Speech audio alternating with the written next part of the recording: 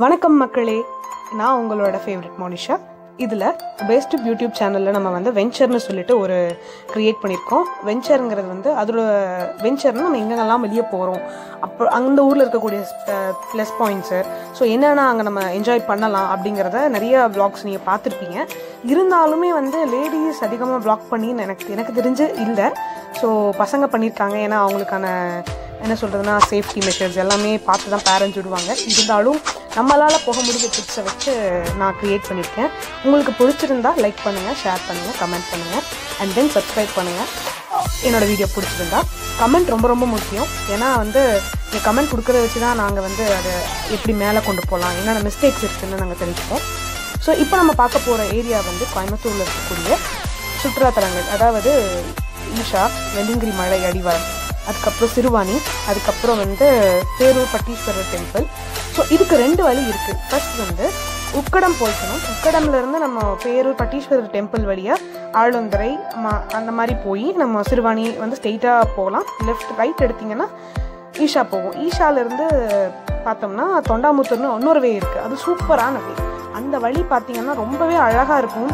அதாவது வழியில் வந்து அதிகமான ஆட்கள் இருக்க மாட்டாங்க. இருந்தாலுமே வந்து சுற்றி க்ரீனரியாக இருக்கும். ரொம்பவே ஹாப்பியாக இருக்கும். எவ்வளோ கவலையோட நம்ம அந்த இடத்துக்கு போனாலுமே அந்த க்ரீனரியை பார்க்கும்போது நமக்குள்ளே இருக்க கவலையெல்லாம் மறந்து போயிடும் இதில் உங்கள்கிட்ட ஷேர் பண்ண வேண்டிய மெயின் விஷயம் என்ன அப்படின்னா இந்த பேரூர் பட்டீஸ்வரர் டெம்பிள் இருக்கு இல்லையா?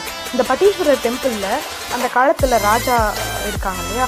அவங்க வந்து சிற்பிகளுக்கெல்லாம் வந்து பொயட்ஸ்க்கெலாம் வந்து என்ன பண்ணுவாங்க? கவிஞர்கள்லாம் வந்து கவிதை எழுதி கொண்டு வந்தால் ராஜா பற்றி புகழ்ந்ததுன்னா அவங்களுக்கு பொட்காசுகள் தருவாங்க. அது போலவே ஒரு சிற்பி வந்து சிலையை வடைச்சிருக்காரு. அப்போ வந்து அதாவது அந்த கல்லுக்குள்ளார வந்து ஒரு பூச்சி இருக்குது அப்படின்னு சொல்லி சொல்லியிருக்காங்க. எப்படியா ஒரு வந்து பாறைக்குள்ளார எப்படி ஒரு பூ பூச்சி இருக்க முடியும்? அந்த பேர் எனக்கு தெரில அந்த இன்செக்ட் பேர். ஆனால் வந்து அது கரெக்டாக தெரியல. அதனால் நான் சொ ஷேர் பண்ணல. ஸோ அந்த இன்செக்ட் வந்து எப்படி பாறைக்குள்ளே இருக்க முடியும் அப்படின்னு சொல்லி அந்த கவிஞரை வந்து எல்லோரும் உதாசனப்படுத்திருக்காங்க. அப்புறம் அவரை பிடிச்சி ஜெயிலில் போட்டாங்கங்கிற மாதிரியும் கதைகள் புராணங்கள்லாம் சொல்கிறாங்க அப்போ வந்து அந்த க கல்லை ஒரு நாள் வந்து கஷ்டம் அந்த ஊரில் தண்ணி பஞ்சம் சம்திங் ஏதோ வந்தப்போ அதை அதை யூஸ் பண்ணி ஏதோ செய்யலாம் அப்படின்னு சொல்லி உடைக்கும் போது அதே போல் வந்து அங்கே ஒரு பூச்சி அதாவது அந்த கல்லுக்குள்ளார ஒரு உயிர்வாழ் உயிரினம் இருந்துட்டு இருந்திருக்கு. ஸோ இன்செக்ட் வகையான சேர்ந்த உயிரினம் தான். ஸோ அதை பார்த்தோன்னே அந்த அரசர் வந்து நம்ம இவ்வளோ பெரிய தப்பு பண்ணிட்டோமே அப்படின்னு சொல்லிட்டு அவரை ரிலீஸ் பண்ணி அவருக்கான மரியாதைகள்லாம் கொடுத்து இன்னுமுமே நீங்கள் அங்கே போனீங்கன்னா அந்த கல்லை பார்க்க முடியும். லைக் நீங்கள் உள்ளே போன உடனே வந்து ரைட் சைட் திரும்பிங்கன்னா ஒரு மண்டபம் இருக்கும். அந்த மண்டபங்களில் தூணெல்லாம் வந்து கண்ணாடி போட்டு வச்சுருக்காங்க. அங்கே தூணில் கூட சங்கிலி செஞ்சுருப்பாங்க. ஒரு கல் சிற்பி வந்து சிற்ப சிற்ப சிற்பி வந்து எப்படி கல்லில் சங்கிலி செய்ய முடியும்? சங்கிலி மீன் செயின் சொல்லுவோம் இல்லையா? இந்த விலங்கு அந்த மாதிரி விலங்குகள்லாம் செஞ்சுருக்காங்க அப்படின்னு சொல்லிட்டு சொல்லியிருக்காங்க அதை நீங்கள் போய் பார்த்தீங்கன்னா ரொம்பவே ஆச்சரியமான ஒரு விஷயமா இருக்கும். ஸோ இதை பற்றின வ்ளாக் தான் இது.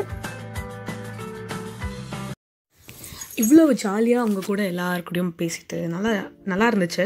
ஸோ இப்போ நம்ம ஈஷா டுவர்ட்ஸ் ஈஷா போயிட்டுருக்கோம் அங்கே போயிட்டு அங்கே இருக்கக்கூடிய திங்ஸ் எல்லாம் கூட ஷேர் பண்ணுறேன் நிறையா இருக்கும். அதை நான் உங்களுக்கு ஷேர் பண்ணுறேன் கிளைமேட் தாங்க இங்கே சூப்பராக இருக்குது என்ன எப்போ பார்த்தாலும் கிளைமேட் கிளைமேட்டுன்னு சொல்கிறேன்னு நினைக்கிறீங்களா? மலையோடு சேர்ந்து நம்மளும் ட்ராவல் பண்ணும்போது நம்ம காதில் ஒரு ஸ்பாட்டு இருக்கும்போது ரொம்பவே சுவாரஸ்யமாக இருக்கும். ரொம்பவே புதுகலமாக இருக்கும். அது ஒரு சந்தோஷம். நீங்களும் ஒரு எக்ஸ்பீரியன்ஸ் பண்ணுவீங்கன்னு நினைக்கிறேன். ஈஷாக்கு போயிட்டு ஆதியோகி சிலை பற்றினதும் இங்கே இருக்கக்கூடிய புது புது விஷயங்கள் பற்றினதும் சொல்கிறேன் பூண்டி அப்படின்னு சொன்னால் வெள்ளிங்கிரி மலை இருக்கு இல்லையா? வெள்ளிங்கிரி மலை வந்து லைக் செவன் ஹில்ஸ் தாண்டி போகிற மாதிரி ஸோ அங்கே வந்து ஜென்ட்ஸ் மட்டும்தான் அது வந்து கேர்ள்ஸ் யாருமே ஹில்ஸ் மேலே போகிறதுக்கு அளவு கிடையாது. ரொம்பவே நல்ல மர அப்போது அந்த மாதிரி ஹில்ஸ் மேலே போகிறவங்க வந்து ஒரு ஸ்டிக் கொடுத்துட்றாங்க.